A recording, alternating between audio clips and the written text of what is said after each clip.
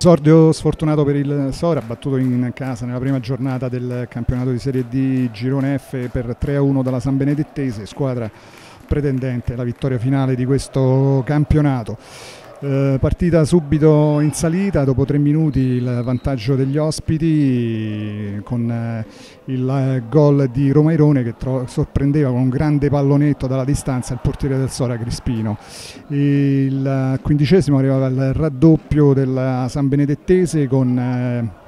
Sbardella che anticipava ancora una volta Crispino su un calcio di punizione dalla sinistra di Arrigoni. Al diciannovesimo il tris da parte dei marchigiani con eh, Tomassini che riusciva a depositare in rete un cross proveniente dalla destra di Cardoni che superava anche in questo caso il portiere del Sora.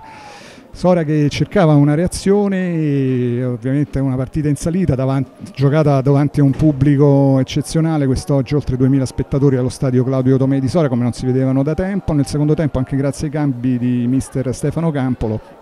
un miglioramento da parte del Sora che però trovava il gol solo a due minuti dal novantesimo con un'autorete di scimia della San Benettese su un cross di Cancelli, la deviazione in mischia del giocatore ospite. Troppo tardi per una rimonta e dopo il recupero l'arbitro fischiava la fine del match, la vittoria da parte della San Benettese, un Sora che dovrà cercare riscatto alla prossima trasferta in casa del Vasto Girardi.